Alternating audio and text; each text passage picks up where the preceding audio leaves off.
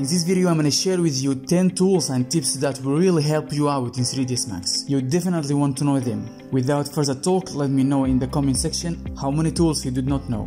And let's get started. Number 10 Unit Setup. Always adjust unit setup after opening a new project. Choose a system unit scale and press OK. You don't want to work on a project then you find its unit not set correctly.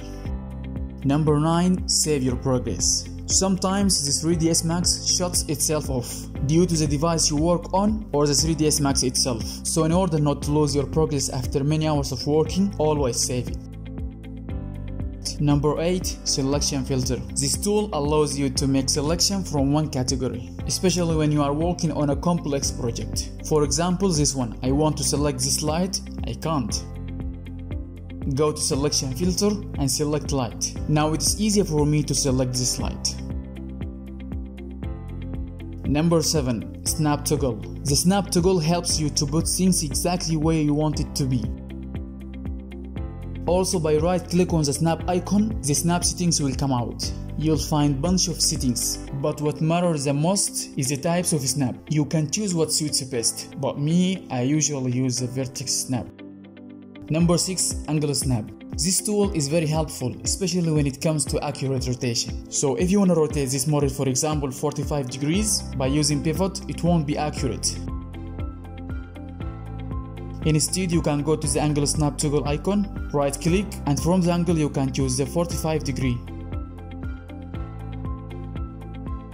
Then you can rotate the model on 45 degrees easily and repeatedly. Number 5. Transform type in. Another way to accurate rotation, by going over the rotation icon and right click on it, you will see a small window appeared. From the X, Y and Z you can rotate the model any direction you want. It is not just for rotation, you can use that for scale and move as well. Number 4. Import instead of drag. When you drag a model and merge it like this, usually you will not find it as it should be. Sometimes you will find it out of your project or not in its original path or even out of scale.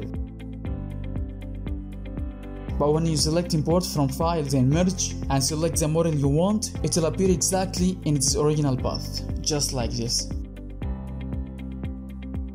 However, sometimes you might need to use the drag method. Number 3. Use measure tool. Although you use the import tool to bring objects to your scene, but sometimes the objects may be out of scale. The best tool for that is the measure tool. You'll find it in utilities, measure. It tells you the length, width, height or depth of the objects that you have selected, and other related stuff. It is a cool tool, I usually use it. Number 2. Use group.